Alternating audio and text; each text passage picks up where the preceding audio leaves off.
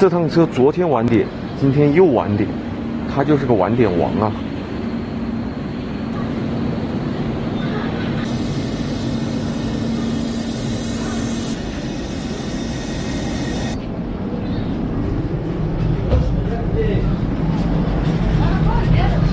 三十五，前面。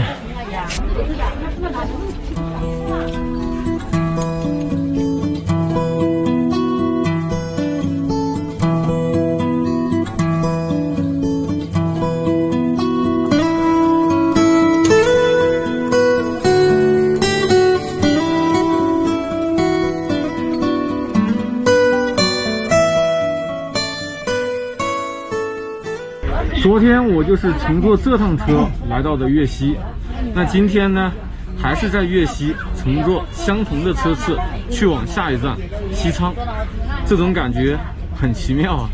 我乘坐的是一号车厢，这列车呢，它中间是没有空调发电车的，所以说第一节车厢它直接连接的就是车头，在第一节车厢这个位置呢，刚好就可以通过这个窗户啊，看到前面牵引我们的车头。我到过车尾，看到过最后车尾的情景，但是还是第一次看到车头的情景。今天也算是一个呃全新的认识。